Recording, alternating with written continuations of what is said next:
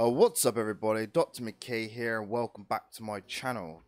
This video is gonna, going to be a quick breakdown of my Saturn V and we're going to be breaking down each one of the stages just so you get a familiarity with Saturn V before I do my history of NASA space, space flight, the Apollo program. So, here we go.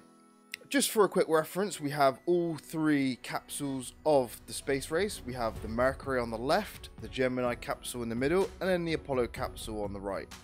So obviously the Mercury is a one-man capsule, the Gemini is a two-man capsule, and the Apollo is a three-man capsule. The Apollo capsule also went with a launch escape tower, unlike the Gemini that opted for ejector seats. So obviously the launch escape tower is a lot more safer than a jet seat. So that's basically the capsules. Next we just have a Titan II missile, or Titan II Gemini, just for size comparison, as you'll see in a second.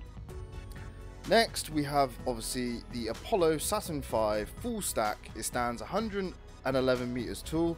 It's got 7.6 million pounds of thrust it can deploy uh, 118 tons to Earth orbit and 44 tons to lunar orbit. It's a beast.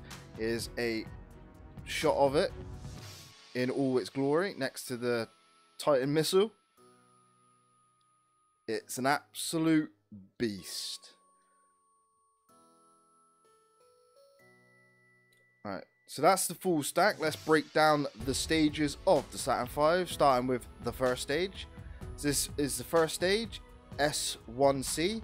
It has five F1 engines on the bottom, and it also has the S1C S2 interstage ring at the top. So as we go up, this interstage ring here is basically what connects the first stage to the second stage. It's not bad. Yeah, this stage is responsible for getting the Saturn V up past max Q and basically on its way to orbit, but doesn't have enough fuel to continue and is obviously really heavy, so we have to then go to the second stage, which is the S2. It's powered by five J2 engines. This stage basically puts the like basically the rest of the rocket in orbit, but not quite. It does get it up there. This stage is not as big as the first stage, and obviously it tapers up at the top for the third stage.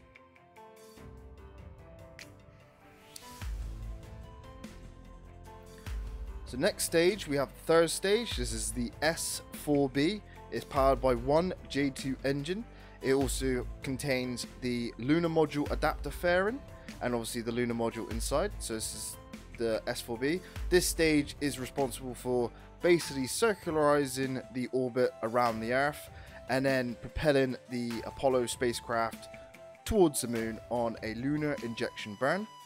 It is then ditched on the uh, coast towards the moon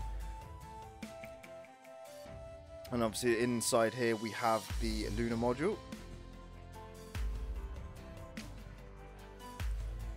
The next stage, which is one of the most important stages of the rocket, is the service module. This service module provides the command module, oxygen, power, radio, and obviously the engine to basically burn to the to the moon and obviously to slow down to stay in the moon's orbit and to then speed up to leave the, Earth, the moon's orbit to get to Earth.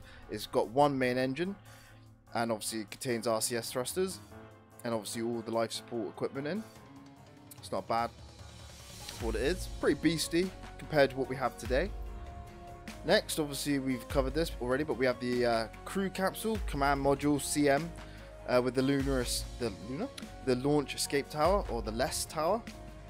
It has three seats for three crew members.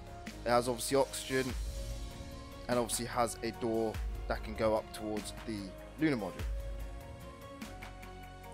And last but not least for the Apollo Saturn V rocket, we have the lunar module. Without this thing, we would never have landed on the moon. It's called the LEM or Eagle or Lunar Lander.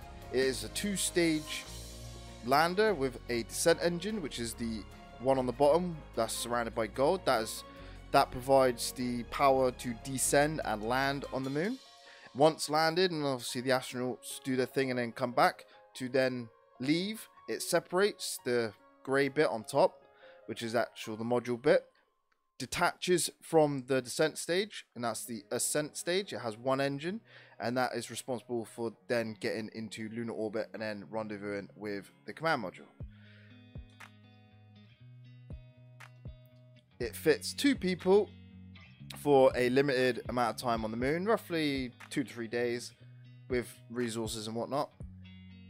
It's a little bigger than what it is in real life, but obviously, yeah, we had to get it to fit.